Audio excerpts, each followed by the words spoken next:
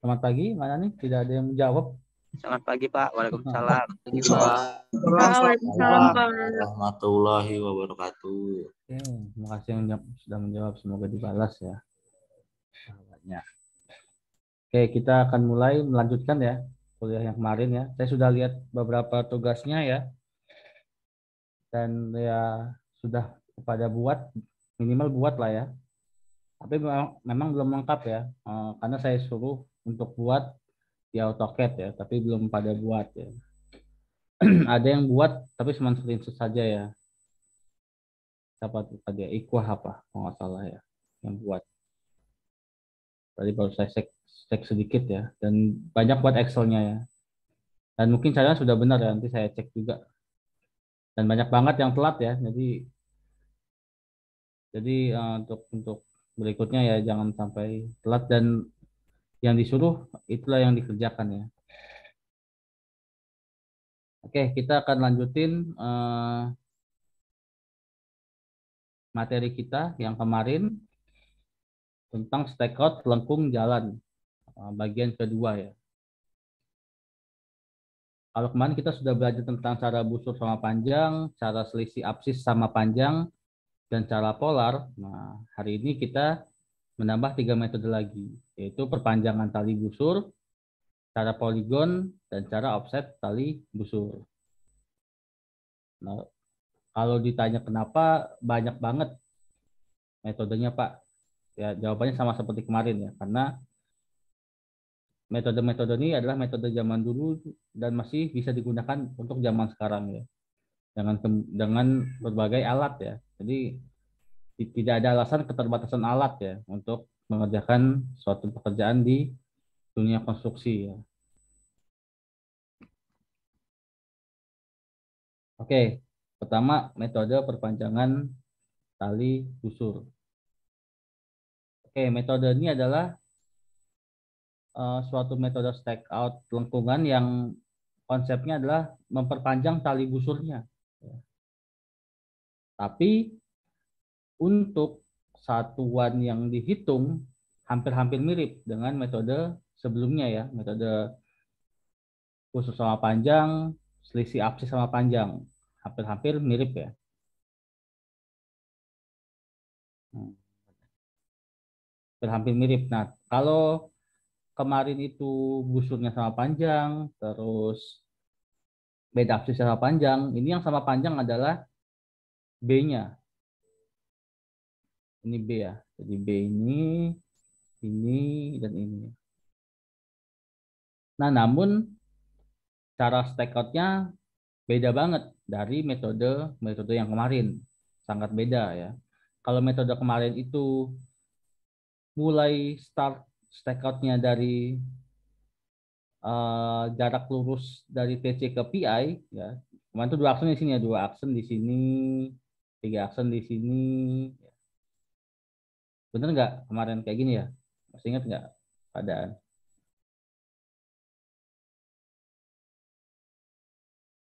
Kemarin dari sini ya, dua aksen, tiga aksen, empat aksennya. Nah, kalau ini dua aksen, tiga aksennya ada di perpanjangan tali busur, busur yang ini. Diperpanjang. Yang ini diperpanjang lagi. Jadi satu aksen, dua aksen, tiga aksennya lokasinya berbeda sama yang kemarin. Oke. Terus parameter yang dicari apa Pak? Yang pertama syarat ya, ada syaratnya ya. Syarat syarat utama adalah B tidak boleh lebih atau B di antara 7,5 sampai 12,5 meter ya. Yang merupakan satuan. Jadi B ini nggak boleh lebih dari atau di antara dari tujuh setengah sampai dua belas setengah ya, meter. Nah, sedangkan B-nya rumusnya adalah 2RC sin setengah theta. Oke, sin 2RC sin setengah theta. Sedangkan untuk tetanya, rumusnya delta C per N. Jadi untuk menentukan bagaimana cara menentukan n. Berarti kan kita hanya harus mengotak-atik si rumus B ini ya. Jadi kita masukkan delta C kita sudah sudah ada ya. Misalnya delta C-nya hmm, berapa ya? 100 derajat misalkan. Ya. Dibagi N. N-nya 20 misalkan, atau 10 deh. Berarti kan dia 10. Tetanya 10. Nah 10 ini dimasukkan ke rumus ini. 2RC sin setengah teta. Jumlahnya harus sebesar ini di antara tujuh setengah sampai 12,5. Ya, jadi, nah jika tidak, jika sudah masuk di antara ini di antara tujuh setengah sampai 12,5, maka B-nya sudah memenuhi syarat.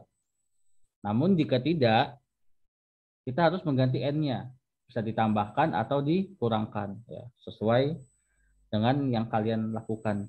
Jadi yang kalian lakukan saat tugas kemarin itu untuk menentukan panjang tali busur delta x atau atau b nah itu sudah benar ya metodenya ya. Jadi dibuat excel masukkan rumus tinggal diganti nn-nya aja. N-nya tinggal diganti berapa agar masuk ke syarat ya.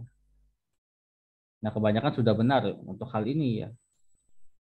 Untuk hal menghitung sudah benar ya. Kebanyakan sudah sudah sesuai yang diinginkan gitu ya. Sudah sesuai yang saya inginkan ya. Bisa menghitung x-nya berapa y-nya berapa. Oke ya nah terus di metode ini kita sama ya menghitung izin ke toilet silakan tidak usah izin ya x1 sampai x ke n x ke n ya n itu sesuai jumlah titik yang kita tentukan ya. Lalu harus menghitung Y1 sampai Y ke N. Sama ya. Nah, untuk rumusnya ini simple rumusnya ya. Kalau rumus X berarti B cos kalau untuk eh, X1 khusus X1 ya, khusus X1 adalah rumusnya B kali cos setengah theta. Untuk Y1, B sin setengah theta. Nah, ini untuk X1, Y1 ya. Kenapa? Karena wilayahnya lebih kecil ya. Lebih kecil daripada uh, jarak dari garis yang terbentuk dari TC ke PI. Jadi lebih kecil sudutnya. Nah, sedangkan untuk X2 sampai ke xn rumusnya adalah untuk x b cos theta untuk y b sin theta. Jadi mudah menghitung parameter uh, stack out-nya ya. Parameter stack out-nya lebih mudah untuk dihitung kalau metode perpanjangan tali busur. Jadi hanya yang yang setelah dapat B tinggal menghitung ini saja. X1-nya X1 Y1 beda rumusnya pakai setengah theta. Sisanya tinggal B cos theta, B sin theta karena sama semua Y3, Y4, Y5 sampai Y ke terakhir. Sama semua panjangnya gitu. Paham sampai sini teman-teman? Ada yang ingin tanya dulu?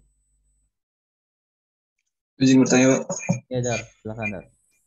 Berarti kan itu rumus untuk mencari X sama Y-nya berarti X2 sampai X2 sama Y2 seterusnya sampai Xn YN itu hasilnya sama semua Pak? Ya, sama semua. Hasilnya hasilnya pasti sama. Jadi misalkan hasilnya B cos ini hasilnya 10 misalkan. Yang ini 15 misalkan. Nah, berarti X semua X dari X2 sampai X terakhir itu nilainya 10. Kalau Y-nya Y2 sampai Y terakhir nilainya 15. Ini sama. Yang beda hanya di X1 Y1. Jadi kalau dapat soal metode ini gampang kan. Cuman ngitung X1 Y1 Y2 X2 Y2 dapat langsung copy aja semua. Sama rumusnya. Berarti PR-nya cuma ngitung X1 sama X2 Y1 Y2 doang, Pak ya? Ya, betul. Nah, Nah, metode ini sebenarnya lebih simpel untuk perhitungannya ya, perhitungan data stakeout-nya. Ya. Oke. Ada lagi?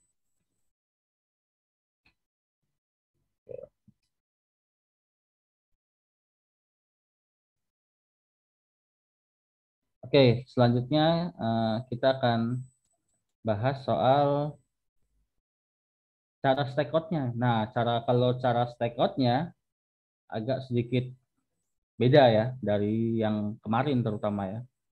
Karena kita harus kalau kemarin kita mulainya dari busur yang ini ya, dua aksen, tiga aksen, empat aksen dan seterusnya. Nah kalau ini beda, agak sedikit uh, jauh berbeda ya metodenya. Jadi pertama banget kita siapkan alat teodolit atau TS atau WP ya terserah di titik TC ya. Kita pasti uh, semua metode awalnya dari TC aja ya biar menyamakan asumsi aja ya. Kalau ada pertanyaan, Pak, boleh nggak sih Pak kita dari titik CT? Boleh. Cuman kebalik nanti. Agak ribet ya. Jadi kita mulainya dari kiri aja ya. Agar lebih enak ya. Kita siapkan titik di TC. Asumsinya sudah ada BM atau patok di titik TC. Ya. Jadi asumsinya titik CT sama TC itu sudah ada minimal sudah ada titik TC-nya yang mana titik awal lengkungannya sudah ada gitu ya. atau ditandain pakai uh, paku atau pakai tip doang pokoknya sudah ada lah titiknya karena di konstruksi pun ya kasar agak kasar juga untuk penentuannya ya. Tidak mungkin ada BM besar gitu ya di link di setiap tikungannya ya. Paling minimal paku lah. Oh tahu lokasinya di paku di pilok terus kasih tanda ancer-ancer gitu ya. Dikasih bambu kecil gitu ya. Biar besok bisa dilanjutkan gitu. Pengalaman saya seperti itu ya. Di kalau di dunia sipil ya agak tidak modal sebenarnya. Terus uh, pilihannya dua ya. Jadi ada kalau ada pat, asumsi sudah ada patok di TC, bis, kalau sudah ada patok di PI lebih enak lagi. Berarti kita tidak perlu uh, arahkan alat ke utara, terus buat sepan uh, arah tangan alfa 1 ya, tidak perlu tidak perlu ke utara, terus sebesar alfa TC ke PI ya nggak perlu ya. Kalau sudah ada BM di PI. Nah, kalau nggak ada, berarti kita harus melakukan hal ini. Kita harus arahkan ke utara, menggunakan kompas, set 0, lalu diarahkan sebesar alfa TC ke PI. Ya. Gimana Pak nyari alfa TC ke PI Pak? Balik lagi saya ulang-ulang terus pokoknya ya sampai sampai muntah kalian mendengar istilah ini gitu ya. Alpha TC ke PI gimana Pak dapatnya Pak? Setiap perencanaan jalan itu pasti sudah ada koordinat. Ya. Baik itu dalam sistem koordinat yang global, UTM, geografis, TM3 ya, maupun lokal. Ya. Jadi kalaupun lokal yang harus dilakukan adalah TC ini sudah ada koordinat lokalnya, PI sudah ada koordinat lokalnya. Di desain. Di desainnya gitu ya. Jadi misalkan ininya 000 misalkan ya, X, Y, Z-nya. Di sini harus ada koordinat dong. Berarti kalau logikanya ini berapa? PI-nya, X-nya ini misalkan 5, Y-nya misalkan 5 juga, Z-nya misalkan 10 misalkan ya. Nah, jadi sudah ada koordinat lokalnya gitu. Ya. Di desain di AutoCAD-nya. Harus ada, kalau nggak ada ya nggak akan bisa ngapa-ngapain kita gitu ya. Itu buat apa Pak koordinat itu Pak? Dan nanti untuk menggunakan menghitung alfa TCPI pakai rumus Arcus tangan ya. Masih ingat ya? Semoga masih ingat dan selalu selalu ingat ya. Berarti XPI dikurang X TC per Y PI kurang Y TC. Semoga harus semoga masih ingat ya. Nah, lalu kalau kita pakai uh, asumsi tidak ada patok TPI, kita arahkan tadi ya. Lalu setelah setelah setelah itu kita patok titik PI atau arah ke PI. Dengan panjang ini kan ada panjangnya TC ya, yang bisa dipak dihitung dengan rumus ya. Panjang TC. Jarak TC ya. TC ke PI. Ada, ada nih jaraknya pasti. Atau kalau nggak ada, dihitung. Jarak Pak, jarak dari TC ke PI gimana Pak dapatnya? Dihitung dong. Pakai rumus akar ya. Akar, bla bla gitu ya. Jadi sudah ada, harus sudah ada koordinat TC sama PI. Lalu setelah dipatok arah PI, bidik sepanjang jarak X1 yang kita hitung tadi ya, eh, B sin setengah theta. Benar nggak rumusnya? Sin eh, X1 itu apa rumusnya? Masih ingat? B cos setengah B cos. B cos setengah theta. Oke, masih ingat ya. Nah, terus udah setelah di set udah udah dipatok dikunci horizontal jangan lupa ya kalau sudah dapat PI ya sudah bidik PI atau sudah dapat titik PI dikunci horizontal, lalu stack out polnya taruh di sekitaran X1, jarak X1 polnya. Baru pasin kan. Oh, jaraknya 10, kalian berinya sini 11. Oh, maju dikit 1 meter. Setelah pasin, oh oke okay, 10 meter pas. Lalu di patok. Patok tapi baru titik satu aksen. baru titik satu aksen patok satu aksen lalu alatnya pindah dari TC ke satu aksen. Berdiri di satu aksen pasang prisma di TC itu ya. Dari alat di satu aksen terus berdiri, berdiri prisma di TC Tujuannya buat apa? Untuk backside, ya tentu saja ya. Terus berdiri tembak atau bidik ya, bidik ke TC, lalu putar alat searah jarum jam sebesar 270 derajat. Gini. Atau kalau mau ke kiri, walaupun tidak boleh secara teknis ya, ke kiri 90 derajat. Karena ini sudut siku siku ya. Ini siku-siku, ini siku-siku. Tapi kotak alatnya 270 derajat ya ke sini ya. Setelah putar alat pasin 270 derajat, kunci horizontal. Setelah kunci horizontal, kita hitung Y kan, Y1. Tadi rumusnya B cos, cos setengah theta sudah dapat nilainya, lalu stack out sepanjang jarak Y1 tadi. Taruh pol di sini kan, taruh pol, pasin, oh, jarak 5 meter misalkan. Pasin, maju mundur kanan kiri biar pas gimana. Tek. Oke, 5 meter pas. Lalu dipatok. Jadilah dia patok ke satu. Titik pertama dapat.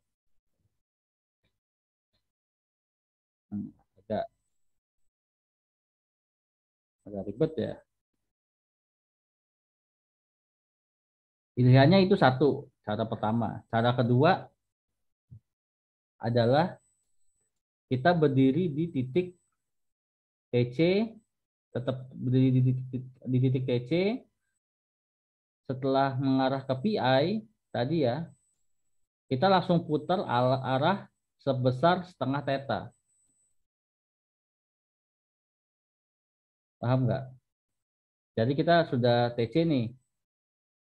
Tadi metode eh, cara pertama ya, cara pertama untuk mendapatkan satu aksen. Yaitu tadi kita berdiri TC, bidik satu aksen, pindah alat gitu ya. Cara kedua, setelah kita bidik PI, ya sudah dikunci horizontal lalu kita set 0 lagi lalu putar searah jarum jam sebesar setengah theta jadi set udah bidik PI geser setengah theta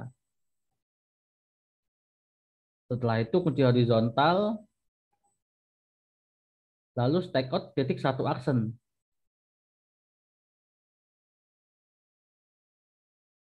titik satu, titik satu, sorry. Sebesar ini ya, B jaraknya. Lebih mudah mana kira-kira? Cara dua, Pak. Yang kedua ya, jadi kita tidak perlu buat satu aksen. Nah, tapi konsekuensinya adalah untuk metode kedua, kita harus sekalian membidik dua aksen.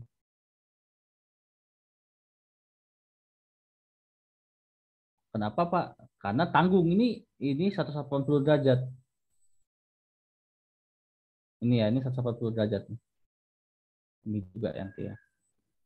Jadi setelah kita matok satu, kita harus matok satu dua aksen juga sekalian. Konsekuensinya itu. Jadi kita uh, biar lebih enak kita bahas dulu cara pertama lah ya, cara pertama tadi ya. Setelah setelah kita diri di, di satu aksen, kita putar 3 270 panjang Y patok. Ya. Lalu alatnya pindah dari satu aksen ke satu pindah di sini berdiri di satu bidik TC ya. Lalu jadikan sebagai backsat atau di set 0. Lalu putar searah jarum jam 180 derajat. Putar set 180 derajat, kunci horizontal lagi. Lalu di stack out dua aksen dengan sepanjang X2. X2 tadi B cos theta ya. Eh B sin theta apa B cos theta? Sin ya? Halo, halo. Sip, Ada yang ingat? Sin ya? Iya, Pak, sip, Pak. Kalau eh, berarti rumus X2 adalah B sin theta ya. Berapa berapa jaraknya Ja- dari satu langsung langsung stack out titik dua aksennya di mana? Sepanjang B sin theta. Pasin ya, biasanya kan nggak pas tuh, nggak langsung pas pasti ya. Karena eh geser kanan dikit. Geser kiri dikit. Oke, coba tes di bidik. Oh, belum pas, mundur dikit eh kelebihan maju dikit. Nah baru pas biasanya. Biasanya kayak gitu ya. Lalu dipatok. Dapat dua aksen. Ya. lalu ya setelah itu langsung setelah sudah dipatok dua aksen biar mudah adalah kita langsung jadikan ini sebagai backside lagi. Set 0, lalu putar ini. Searah theta. Lalu out 2 sepanjang B. Patok titik 2. Lalu sekalian sekalian harus matok dua tiga aksen ya. Patok tiga aksen sepanjang Y3. Jadi bidiknya walaupun kita bidiknya dari titik satu ya da- da- dari satu dari satu titik yang pertama kita backside kedua aksen putar searah theta lalu stack out searah B patok 2 lalu panjangin lagi jaraknya si yang, yang pegang jalon setelah patok titik 2 ja, mundur lagi sepanjang X3. Jadi gini dia jalan tek tek tek tek tek tek tek. Pakai meteran biar mudah ya. Oke, seginilah kira-kira nih. Pasang pol. Tembak. Kalau sudah pas X3 lalu di patok.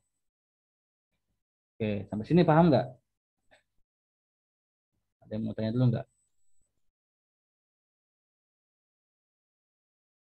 Untuk untuk cara stack out-nya.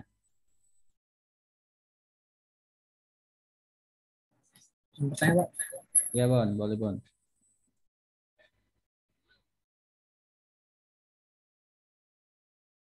Mana, Pak, Bon? misalnya pakai eh, metode yang kedua tadi Pak, bisa dari dari degree titik TC tadi, tapi untuk semuanya bisa nggak Pak? Dari TC aja Pak. Gimana, gimana? Untuk eh, metode yang kedua tadi Pak. Metode yang ini. Yang ini apa? Ini baru Kedua, pertama loh. Baru pertama ini. Enggak, cara kedua Pak yang backside ke P1 Pak. Oh, Oke, set ya, sama- ya. Untuk cara kedua, semuanya bisa dilakukan hal yang sama. Jadi langsung eh, diri alat di PC, langsung backset ke PI ya, langsung backset ke PI, set 0, langsung putar setengah theta, langsung langsung bidik ini, langsung bidik satu, setelah bidik satu di stack out satunya langsung pindah polnya, polnya ya yang pindah ya. Polnya pindah sepanjang X2, lalu stack out dua aksen. Pasin lagi ya. Pasin, stack out, sepanjang. Tapi jaraknya beda. Jaraknya berarti ditambah dong. Kalau di alat ya. Karena kalau pakai metode yang kedua ini, jaraknya enggak, enggak X2 lagi. Tapi jaraknya B ditambah X2. Benar nggak, Bon? Pak. Nah, jaraknya di B-nya misalkan tadi 10 misalkan X X-nya 2 21 misalkan. Berarti yang harus dibidik B ditambah X2. Nah, tapi itu ribet kan? Maksudnya ribet secara data yang harus kita catatnya gitu. Tapi tidak ribet menghit men-stack out-nya gitu. Jadi pilihannya ada dua ya. Bisa pindah-pindah alat lebih lebih ribet, tapi bisa pakai alat yang canggih. Nah, tapi ini hanya metode ini biasanya hanya bisa untuk alat yang sudah canggih, maksudnya jarak untuk mem- membaca jaraknya bisa jauh gitu. Nah, kalau misalkan pakai WP, ini nggak akan bisa menggunakan cara kedua. Kenapa, Pak? Karena kalau kita dikasih alat WP, kita harus pakai cara pertama pindah-pindah alat. Karena membaca WP itu kalau semakin jauh rambu ukurnya kita nggak akan bisa baca. Benar nggak? Pengalaman kalian selama praktikum deh. Benar nggak? Semakin jauh rambu ukur semakin bisa kebaca nggak kalau pakai WP? Sulit Pak. Sulit ya. Apalagi ya kemarin tuh yang apa pas camper KKV ya, kerasa banget tuh pasti. Pakai barcode juga belum tentu ke ke detect dia barcode-nya ya. Ya, jadi metode yang pertama tadi cara pertama tadi itu untuk yang pakai WP karena karena sudutnya sederhana kan, sudutnya cuma 270 180. Lebih mudah kan untuk sudutnya. Tapi tidak family friendly ya kalau pakai metode cara kedua untuk pakai WP karena jaraknya sulit ya.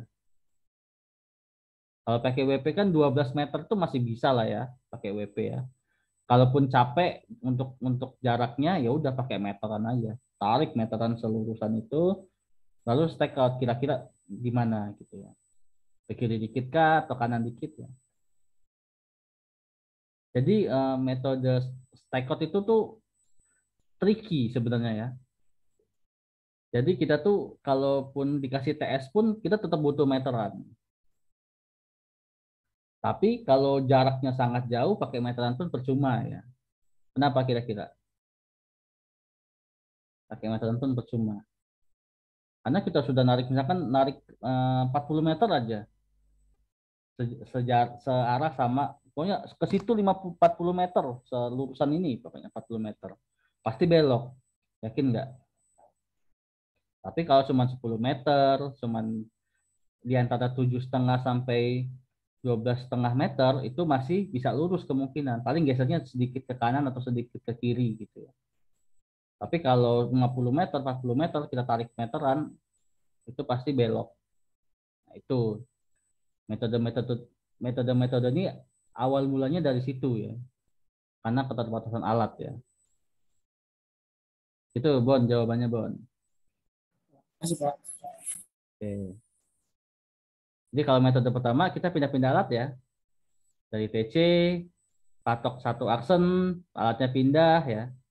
Terus putar 270 untuk untuk code satu. Udah di udah dipatok, pindah alatnya ke satu aksen.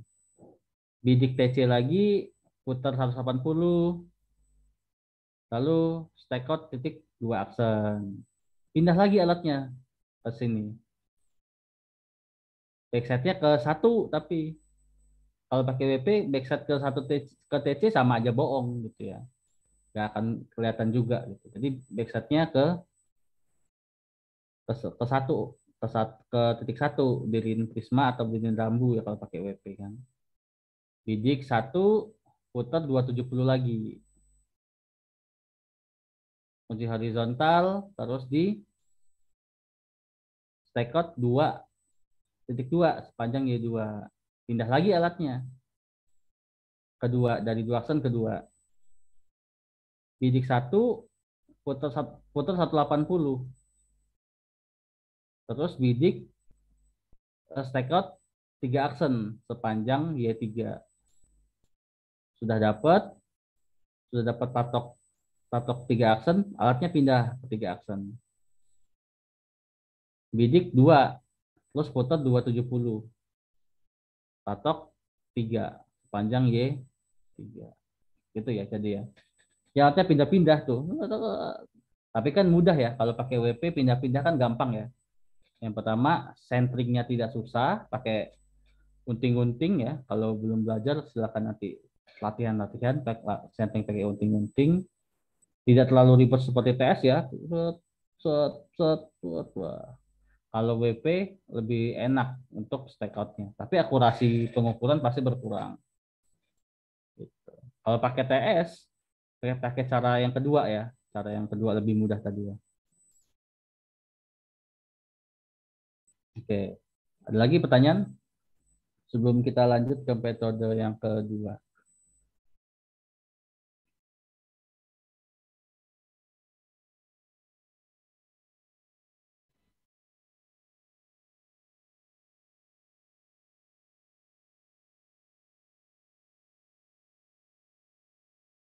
Yuk, saya tunggu kalau ada pertanyaan. Boleh, boleh. Eh, eh, ada ini Pak? Hmm. Suaranya, suaranya ini. Iya, ya, oke, oke. Udah. Kalau misalkan kita mau tadi kan eh, kalau pindah alat ya Pak ada backside dulu Pak. Misalnya backside nya pakai pakai apa pakai prisma eh, pakai jalan aja Pak nggak di rim statik itu pengaruh nggak Pak? Pengaruh pasti, pasti pengaruh. Terutama ke sudutnya sih. Pak, Pasti pengaruh. Makanya, kalaupun memang pakai pole saja untuk backside-nya, minimal ada yang ada yang gini ya. Jadi pole itu ada yang tipenya gini. Aduh, gimana ya? Jadi ini pole, tapi ada kakinya. Kakinya gini. Pernah lihat gak kalian?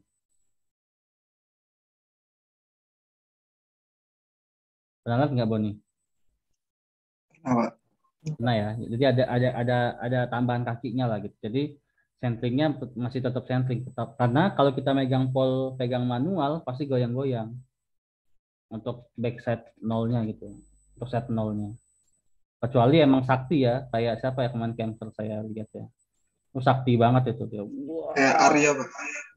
Iya Arya, Arya sama ini kelompoknya Elizabeth, siapa Anggi. Wah, sakti itu dia. Nggak geter tangannya di pol tuh. Wah. Dapat asupan energinya banyak kayaknya di kelompoknya ya. Kalau Anggi ya. Kecuali gitu ya, kalau memang dia emang sakti banget bisa nggak goyang polnya ya nggak apa-apa gitu ya. Tapi pasti pengaruh lah kalau dia kalau ditanya pengaruh nggak Pak? Pengaruh pasti. Oke, Pak. Tapi kalau misalkan ya stack untuk stack out ya, eh, sebenarnya sah-sah saja sih memakai metode itu ya. Karena karena kan kita untuk striker tuh dituntut untuk cepat sih. Tapi ya kita cepat juga harus bertanggung jawab ya. Jadi jangan sampai yang kita striker tuh terlalu jauh gitu. Jadi strikernya harusnya di sini, taunya di sana gitu ya, jauh gitu. Nanti pasti pas pasti patok jalannya jalannya nggak jadi lengkung, jadi zigzag zigzag gitu. Aneh gitu.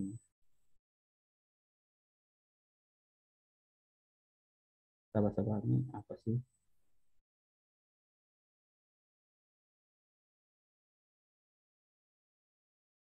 Sebentar, sebentar, sebentar.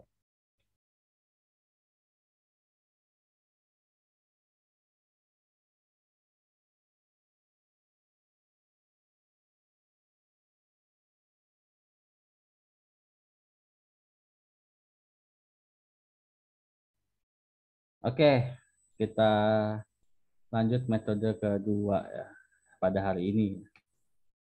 Oh ya, jangan lupa ya dicatat ya. Catat di tabel seperti yang tugas kalian lakukan. Itu sudah sangat baik ya. Nah, itu disimpan dan di-share ya. Jadi kelompok eh, kelas A hasilnya di-share ke kelas B. Dan ke kelas C. Yang kelas B bagi ke A sama C dan seterusnya gitu ya. Dan dikoreksi juga benar apa salah gitu. Nah, nanti siapa tahu di UAS keluar ya. Kalau di UAS keluar kan nggak panik, tinggal pakai aja Excel-nya gitu.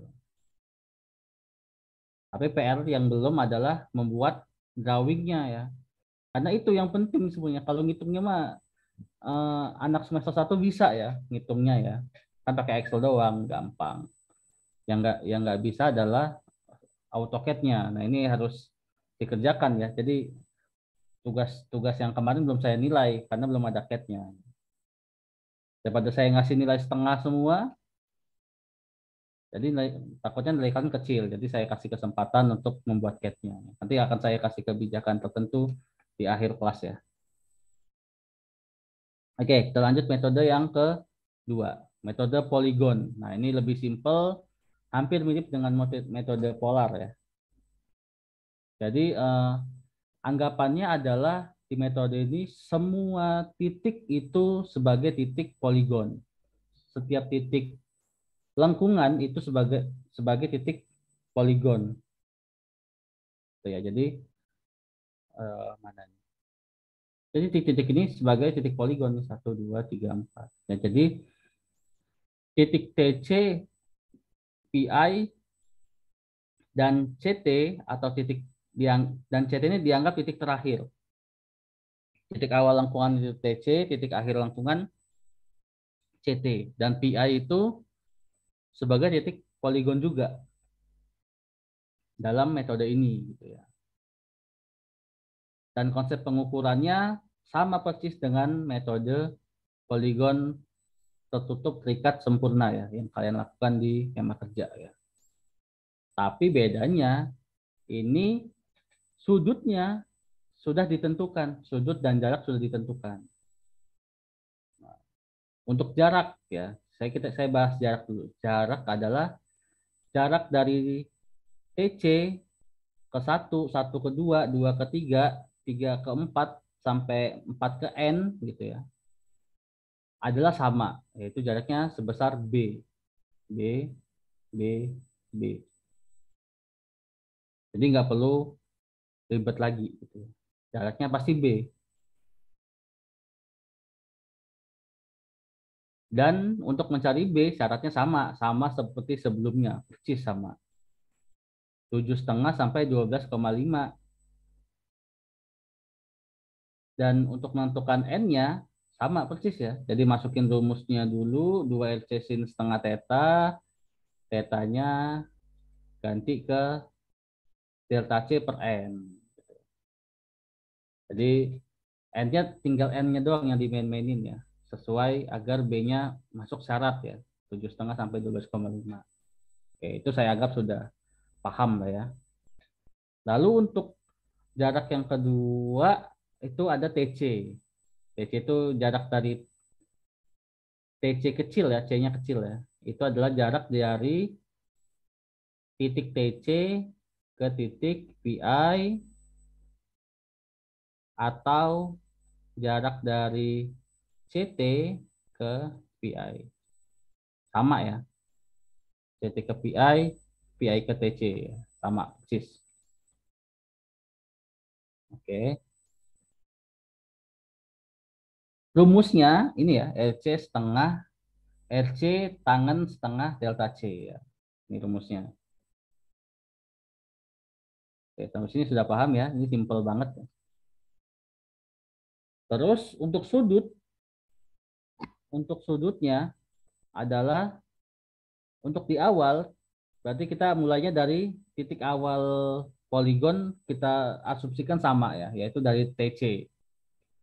Boleh nggak Pak dari CT? Boleh. Dari PI boleh Pak? Boleh. Nggak ada. Tapi yang nggak boleh adalah mulainya dari satu, karena titik satu dua sampai N itu belum ada.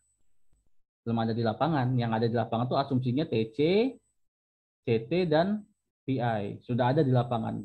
Minimal tandanya ya. Mau dia tipekan atau paku gitu ya. Sudah ada di lapangan.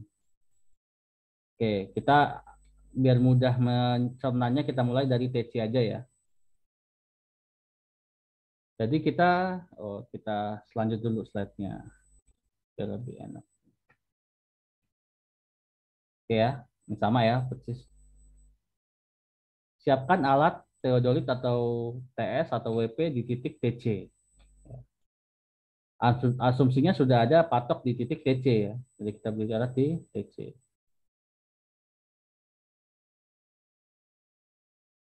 Jadi asumsi kedua, kalau sudah ada titik PI, ya kita tinggal berdiri prisma di PI. Kalau sudah ada, kalau sudah ada patoknya ya. Kalau belum ada, kita arahkan ke utara, set 0 dan buat alfa 1 ya, alfa TC ke PI. Seperti biasa ya. Dibuat, lalu panjang eh, stack out titik PI sepanjang TC. Lalu dipatok, setelah dipatok, berdirikan prisma di PI. Alat tetap di TC ya.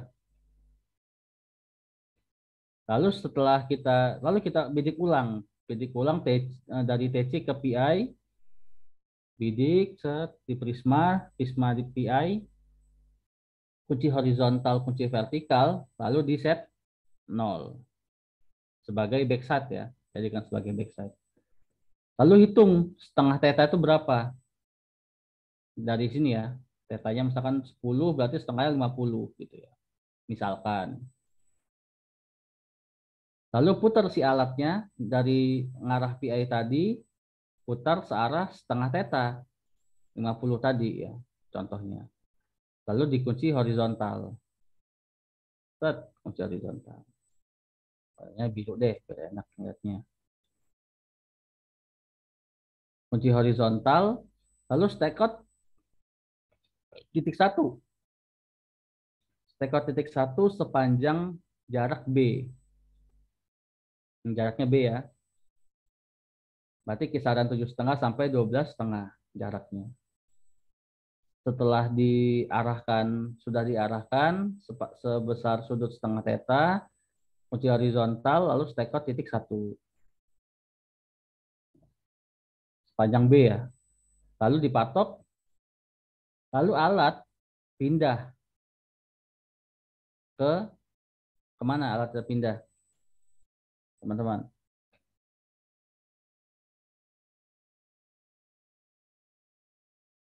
Halo, halo. Titik satu, Pak.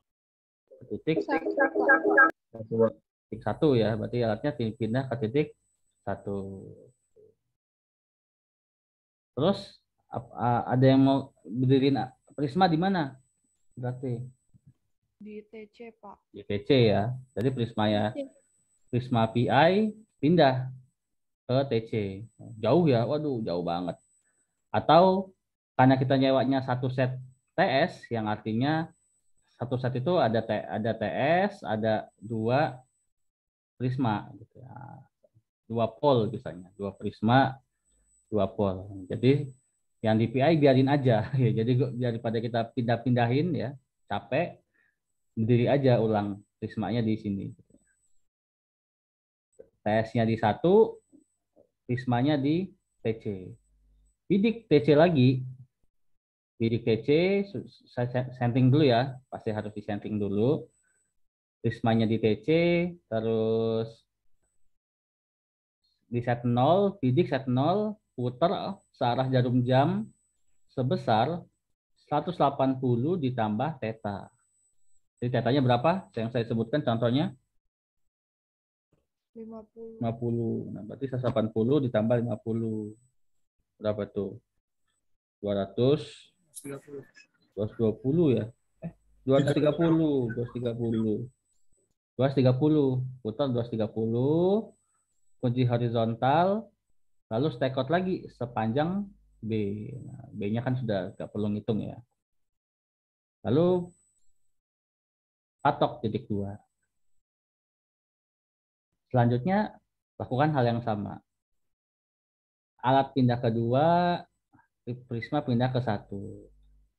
Sama ya, bidik, putar 230, stack out 3, searah B. Pindah lagi alatnya ke tiga, prismanya kedua. Dan sampai seterusnya. Dan di ujung, karena prismanya tidak kita pindah-pindahin di PI, setelah dapat titik paling pojok, kita validasi.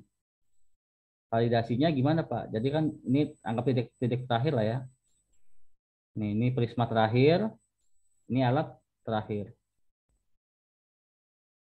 Nah, cara ngeceknya gitu aja. Jadi nggak usah dihitung-hitung poligon-poligonnya ya. Terus dah set 0 ke 3, lalu bidik PI.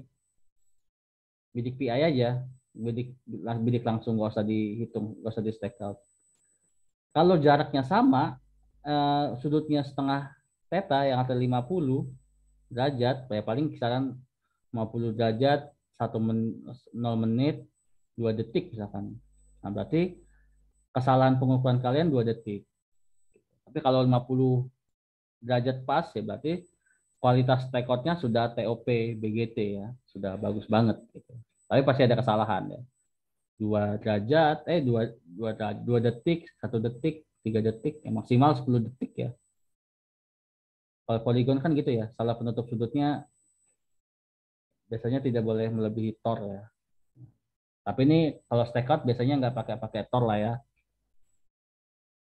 Pusing pala Barbie kalau alatnya dapat berapa? Ketelitanya satu derajat. Nah, saya mending pakai WP pak langsung nangis ya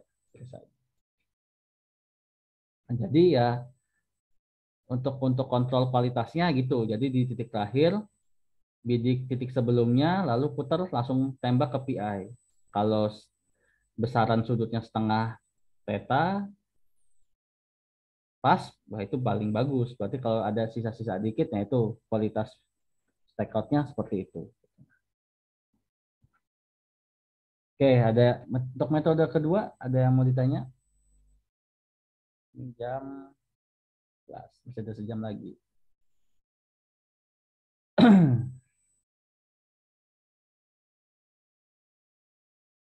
ya, ada yang mau tanya dulu sebelumnya?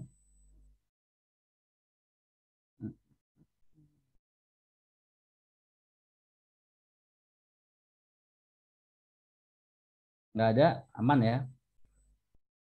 Kalau ada nanti boleh ya, tinggal ngomong aja. Metode poligon ini ya seperti lebih mudah sebenarnya, seperti lebih mudah daripada metode yang lainnya. Padahal konsepnya ya sama juga gitu. Sama-sama aja. Alatnya pun pindah-pindah terus ya. Pindah lagi, pindah lagi alatnya pindah. Gitu. Paling enak tuh emang polar, paling enak ya. Alatnya di situ-situ aja gitu. Cuman dari TC, PI, langsung pindah-pindah aja polar. Lebih enak polar. Dari keenam metode nanti yang paling enak polar. Yang paling susah, metode selanjutnya. Nah, ini yang paling susah. ya.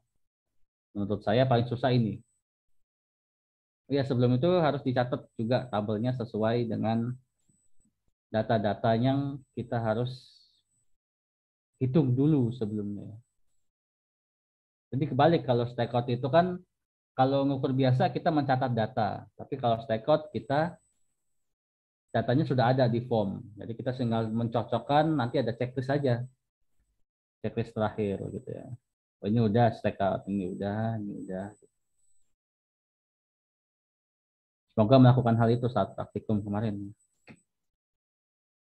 Nah ini metode poligon kedua sama aja konsepnya ya.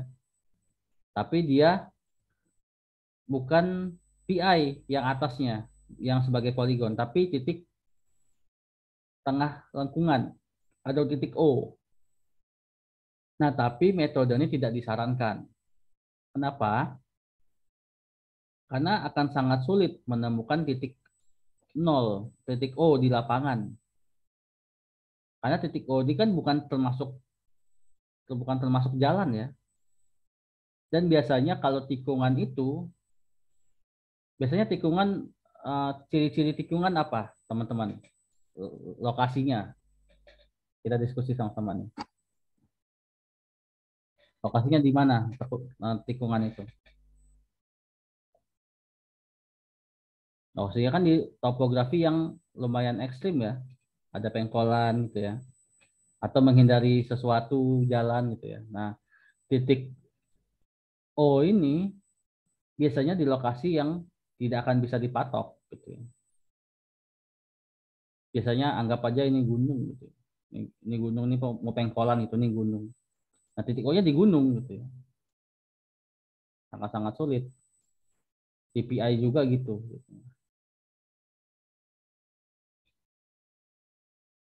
Makanya metode yang kedua tidak disarankan. Jadi karena karena di berbagai proyek ya di berbagai proyek jalan yang ditentukan itu hanya tiga ini ya tiga TC, PI, CT yang ada patoknya.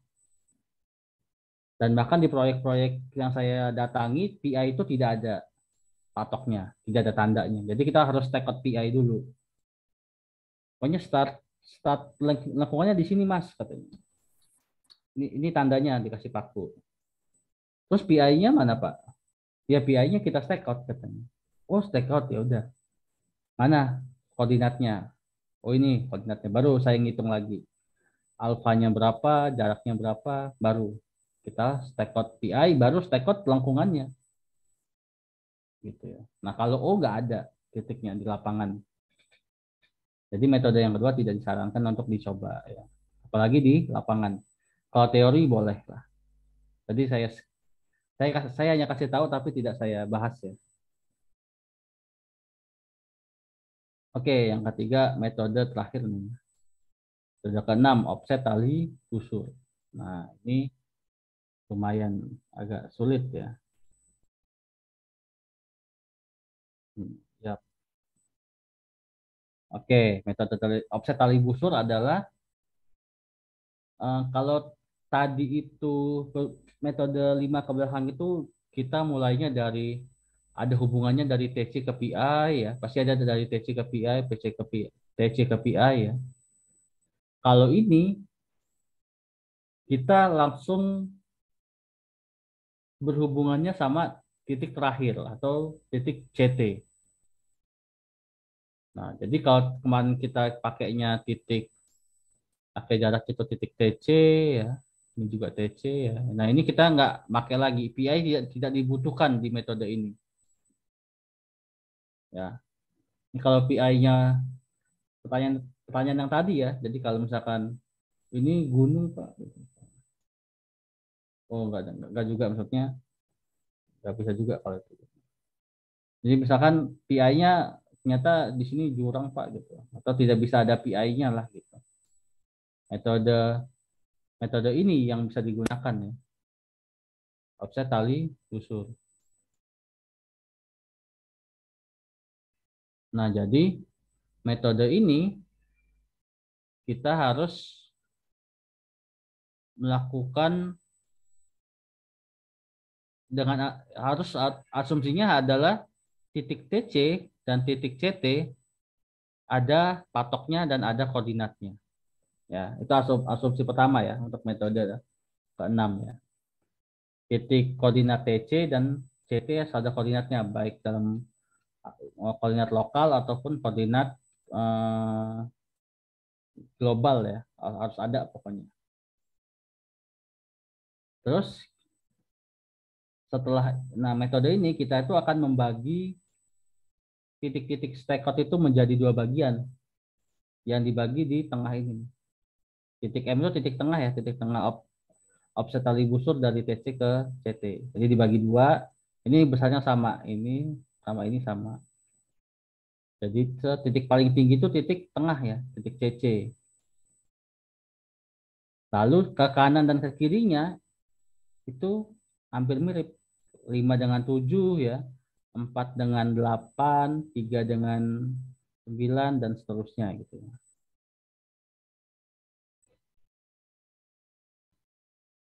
Oke, sampai sini.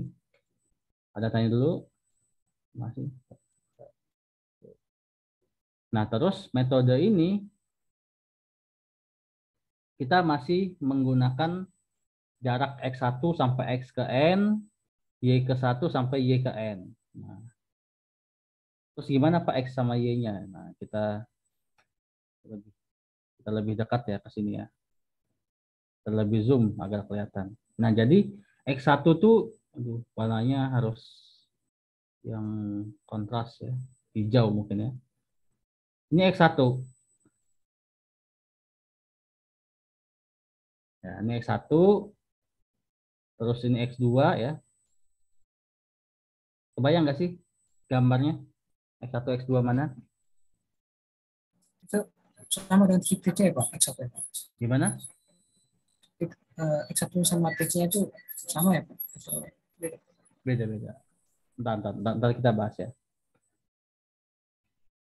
Nggak, ini, ini, ini saya mau mau bayangin dulu gambarnya ya.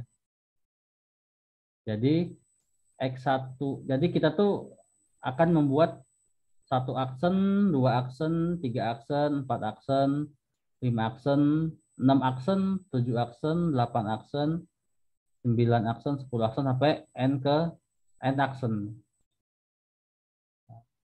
Jadi jarak dari TC ke satu aksen itu X1. Jarak dari TC ke dua aksen itu X2. Jarak dari TC ke tiga aksen itu berarti X3 ya. Jarak dari TC ke lima aksen berarti X5. Kebayang nggak teman-teman? Gambarnya kebayang ya? Nah, sedangkan jarak dari TC ke CT atau titik terakhir itu adalah sebesar TIB. TIB ada rumusnya ya. Coba buka catatannya. TIB apa rumusnya? Apa rumus TIB? Dua dikali RC sin setengah delta C, Pak. 2 kali RC kali Dikali RC, Pak. dikali R 2 RC dikali Sin setengah delta C. sin setengah delta C ya. Nah, ini sudah ada rumusnya ya. TIB itu sudah ada rumusnya. Gitu. Terus Y. Y1 sampai Y ke N berapa Pak? Yang, yang mana? Yang mana dulu deh? Yang mana Pak? Itu nah ungu deh. Nah ini Y1. Y1 itu jarak dari satu aksen ke satu. Y2 jarak dari dua aksen ke dua. Y3 tiga aksen ke tiga. Y4 empat aksen ke empat dan seterusnya. ya. Nah, yang unik dari metode ini adalah besaran Y5 dan Y7 itu sama. Besaran Y4 sama Y8 itu sama. Y3 sama Y9 itu sama, 2 sama 10 sama, 1 sama 11 sama. Itu artinya apa? Artinya jumlah n-nya harus harus apa jumlah n-nya?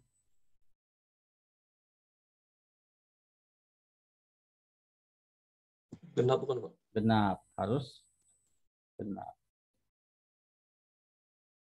Supaya apa? Ya supaya ininya kita menghitungnya lebih mudah. Boleh nggak Pak Ganjil? Boleh. Tapi ribet ngitungnya. Kita kita tinggal ngitung setengah dari sini aja. Terus nanti sama gitu ya. Kanan ke kirinya gitu. Jadi usahakan n-nya genap. Agar mudah ngitungnya gitu. Kita cuma ngitung 1, 2, 3, 4, 5, 6 Y-nya. Terus 7 nanti tinggal buat rumusnya 7 sama dengan 5, 8 sama dengan 4, 9 sama dengan 3 gitu ya. Kan nggak perlu ngitung lagi. Gitu. Oke. Di sini paham ya? Semoga semoga paham di sini. Karena kita harus bahas soal N-nya tadi ya. Oke. Oh, ini sudah ada ya TIB sini. Oke, terus banyak N-nya bagaimana Pak menentukannya? Nah, jadi N-nya itu ada ada syaratnya nggak ya? Saya lupa. Oh nggak, oh nggak ada, nggak ada, nggak ada syaratnya ya. Oh syaratnya delta x-nya ya, delta x-nya tidak boleh lebih syarat ma- masih ada syaratnya ya. Syaratnya saya lupa masukkan di sini ya. Delta x-nya itu tujuh setengah sampai berapa? Ke berapa ya? 12,5 ya, sama ya. Masih tujuh tujuh setengah sampai 12,5 ya. Jadi TIB-nya dicari berapa pakai rumus ini per N. N-nya usahakan genap. Baru delta X-nya kita dapat. Tadi ada pertanyaan bagus ternyata dari Boni ya. Boni bukan sih kalau nggak salah lupa saya. Tadi Pak, eh, apakah jarak dari ini TC ke 1, DU 1 ke 2 itu sama Pak? Sama ya jawabannya. Jadi X1 itu adalah 1 dikali delta X. Jadi delta X-nya di antara 7,5 sampai 12,5. X2 berarti 2 dikali delta X. Berarti kan artinya TC ke 1 sama 1 ke 2 itu besarnya sama. Dua, dua aksen ke tiga aksen. Eh, TC ke satu aksen, satu aksen ke dua aksen, dua aksen ke tiga aksen, dan seterusnya itu sama yaitu delta x nilainya. Berarti ini delta x, delta x, delta x, delta x, delta x. Ya tinggal dikali aja. Jadi rumus xn x ke n sama dengan n dikali delta x. Jadi mau n-nya 50 misalkan, berarti ya 50 dikali delta x gitu. Panjangnya ya. Oke, paham ya untuk X-nya ya.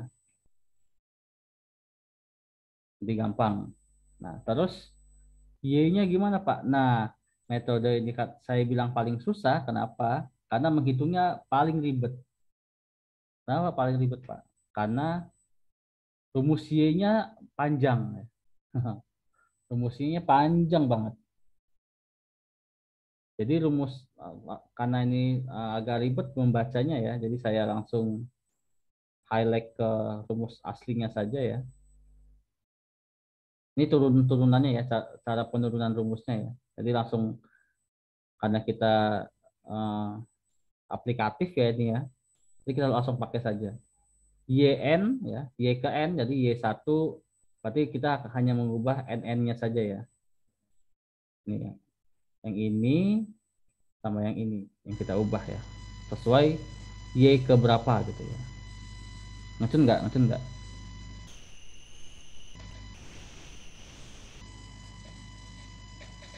Halo halo. Jadi kita uh, agar mudah memahami ini diabaikan dulu. Jadi kita fokusnya ini aja nih. Ya karena penurunan rumus ya itu hanya penukar penukaran aja ya Nah, untuk Y, untuk rumus Y, Y-nya, YN sama dengan M dalam kurung RC dikurang O kali PN. OPN. Dalam kurung sama dengan, nah O- OPN ini ada rumusnya lagi sebenarnya. Di, dikeluarkan lagi gitu ya. Jadi rumus sesungguhnya adalah M dikurang dalam kurung RC dikurang dalam kurung akar. Ini akarnya ke sini ya. Ke ujung ya. Akar dari RC kuadrat dikurang dalam kurung setengah TIB dikurang N dikali delta X kuadrat. Nah panjang banget kan ya. Tapi akan mudah jika kita menghitungnya pakai Microsoft Excel jadi kita buat aja rumusnya M-nya berapa berarti kan harus kita harus ngitung M ya M itu ada rumusnya lagi itu. M ada rumusnya lagi. Lalu udah kurang RC dikurang akar dari RC kuadrat dikurang setengah TIB min N dikali delta X yang ini dikuadratin. Oke, panjang ya rumusnya ya. Nah, tapi akan mudah jika pakai Excel tadi saya bilang.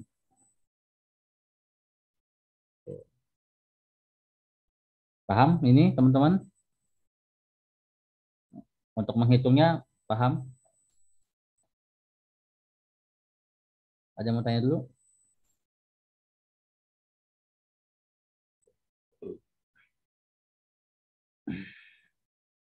Oke, belum ada ya. Jadi tinggal dimasukkan saja rumusnya ya. Terus Y itu yang mana sih Pak? Nah, Y itu kita mundur lagi yaitu ini dari satu aksen tadi ke satu, dua aksen ke dua, tiga aksen ke tiga, dan seterusnya ya. Gitu. Dan sebenarnya kalian tuh tidak perlu menghitung semua nanti ya nantinya ya, karena nanti eh, sampai ke tengah aja sampai ke tengah berapa ini akan sama nilainya ya. Jadi kalau kalian hitung saat Y1, Y2, 3, 4, 5, 6. Nanti Y7, 8 itu sebenarnya nggak usah dihitung karena akan sama harusnya ya. 5 dan 7, 4 dan 8 gitu. Nilainya akan sama. Dengan rumus yang ini. Oke. Terus gimana Pak cara stack out-nya? Nah, cara stack out-nya ternyata cara stakeoutnya tidak seribet uh, ribet sih. Ini metode paling ribet menurut saya. Ngitungnya ribet, stakeoutnya ribet. Kenapa ribet Pak? Karena kita harus pindah-pindah alat terus sepanjang titiknya itu gitu ya. Sepanjang titiknya banyak ya kita harus pindah titiknya lebih banyak lagi gitu. Kan tidak sang, sangat tidak ini ya. Sangat tidak uh, tidak efisien ya, tidak efisien metode ini. Tapi ini metode yang ada, ini metode sengaja ditaruh terakhir karena ini metode paling sederhana dari stakeout lengkung. Kenapa Pak? Paling sederhana. Karena kita hanya butuh meteran dan dan musuh derajat sudah bisa stack out. Kenapa Pak? Nah, jadi anggapan semua X dan Y sudah terhitung ya. Jadi kita tinggal tarik lurus aja. Dari TC ke CT tarik tarik meteran lurus atau tali atau apa ya, ditegangin gitu ya. Tidak boleh ada yang tidak boleh apa ya, tidak boleh bergeser, harus harus tegang dan lurus. Lalu hitung delta X-nya. Berarti kan delta X-nya tidak boleh lebih dari 7,5 sampai berapa? 12,5 ya. Berarti kan siapin aja pemeteran 10 meter. 20 meter aja sudah cukup. Gitu. Jadi tarik lagi meteran sepanjang garis yang sudah ditegangkan tadi ya. Jadi bayangannya gini. Ini TC, ini ini CT ya. Ini CT, ini TC. Terus kalian tarik garis lurus. Hmm pakai tali atau pakai apa ya terserah Lalu kalian tinggal meterin biasa aja, meterin biasa delta X, patok. Tarik lagi 10 meter. Misalkan 10 ya, delta X-nya 10. Delta X-nya buat aja 10, Pak. Biar enak. Gitu. 10 meter, patok. Tarik lagi meteran. 10 meter, patok. 10 meter, patok. Patok, patok 10 meter. Mudah kan? Terus untuk start ke atasnya gimana, Pak? Pakai busur derajat aja. Yang setengah lingkaran, masih ingat ya? Yang ada setengah lingkaran. Jadi tinggal arahin aja nih. 90 derajat ke atas. Ini ini 90 derajat nih pasti. Terus Y-nya berapa? Y-nya. Y-nya misalkan 10 juga misalkan ya. Jadi tinggal tarik aja meteran 10 ke atas. Setelah 10 meter sudah ada, patok. Selesai. Lalu pindah. Yang patok dua aksen kan. Tarik lagi meteran, misalkan 13, berarti 13 meter ke atas. Sepanjang ini ya, sebesar 90 derajat tentu saja. Patok lagi, pindah lagi. Patok, patok, patok. Jadi pakai metode, pakai alat meteran sama pakai busur derajat aja kan sudah bisa stack out dengan metode offset tali busur.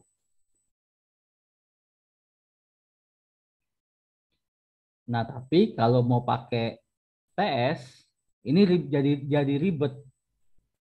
Kenapa jadi ribet, Pak? Karena kalau TS kan kita butuh sampling dulu, ya. Berdiriin prisma, ya kan. Minimal sampling alat lah yang susah ya. Kenapa Pak susah Pak? Karena karena kita kalau met, pakai metode ini, kita harus pertama harus take out aksennya dulu kan, satu aksen, dua aksen sampai 11 aksen. Ya. Jadi kan kita harus ngepasin delta X-nya ya. X1 berapa, X2 berapa, X3 berapa. Ya. Berarti pertama kita berdiri alat dulu. Saya jelasin dari awal deh. Berdiri alat di di mana alatnya pertama beli berdiri di TC. Di TC. Lalu kalau sudah ada patok CT, kita nggak butuh uh, lakukan apa pun, ya. tinggal bidik aja CT-nya.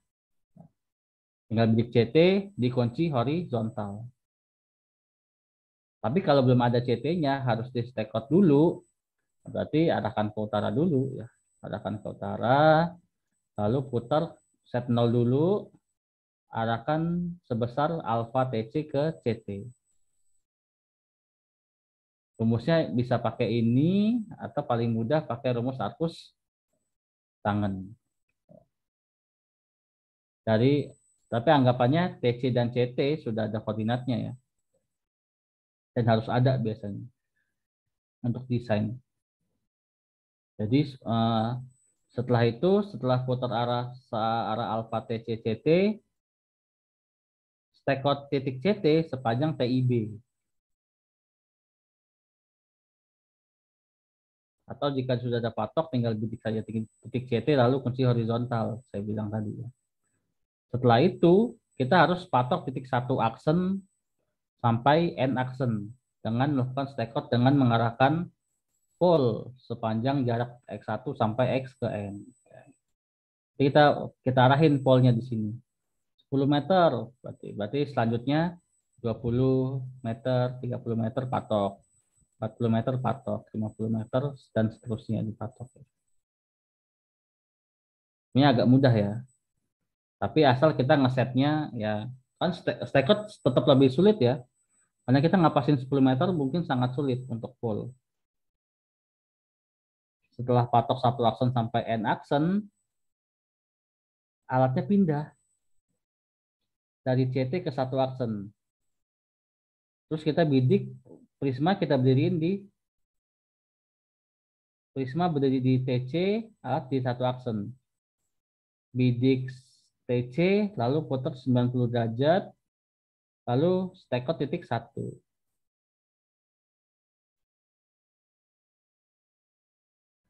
Kebayang nggak nih?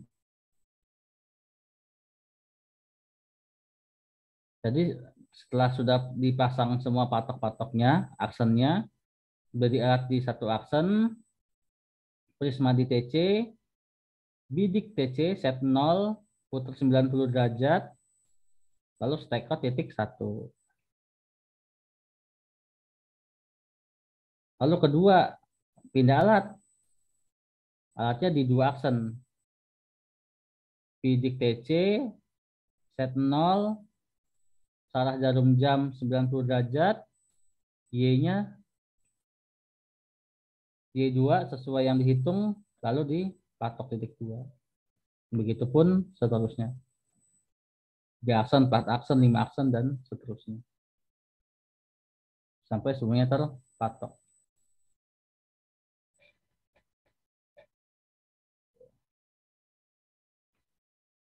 Sampai sini paham? Ada yang bertanya dulu nggak soal nomor 6 nih?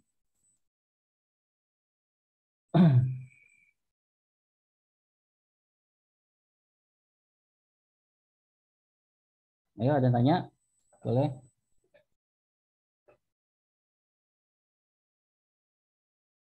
Oke, sebet, sepertinya sudah terbiasa ya mendengar-dengar istilah istilah alfa, bidik, ya patok. Nah, jadi harusnya ini sudah metode akademis sengaja ditaruh di terakhir ya karena emang yang paling sulit ya. Jadi kalau kalian sedikit-sedikit paham metode 1 sampai 3 di pertemuan kemarin, ya ini terasa lebih mudah sebenarnya untuk mencernanya ya. Jadi tapi kalau ada yang mau ditanya silakan, nggak apa-apa.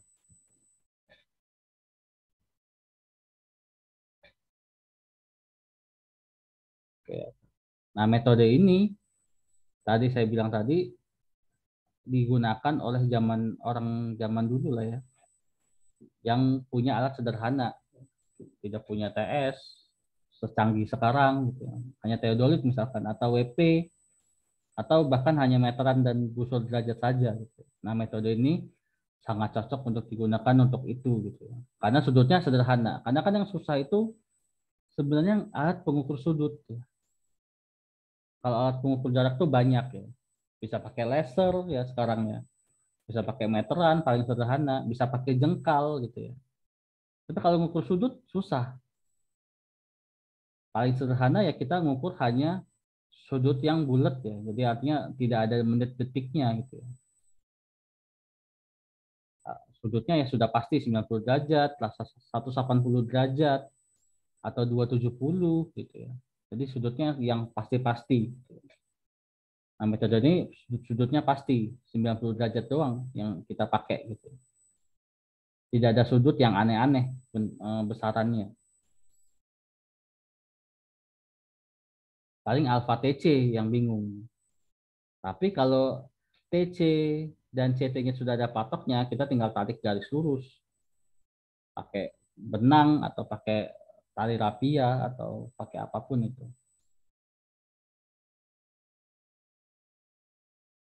Paham? Ada yang mau tanya dulu nggak? Aman ya metode ketiga ya.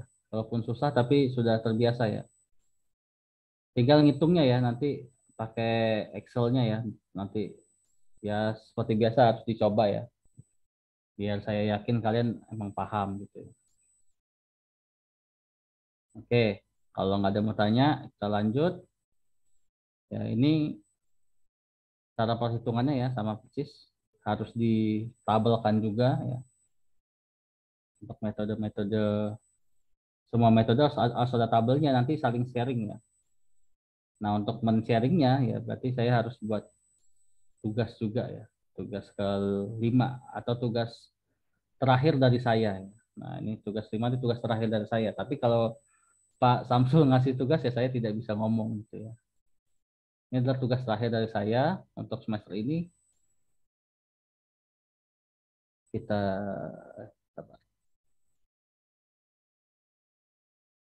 Oke.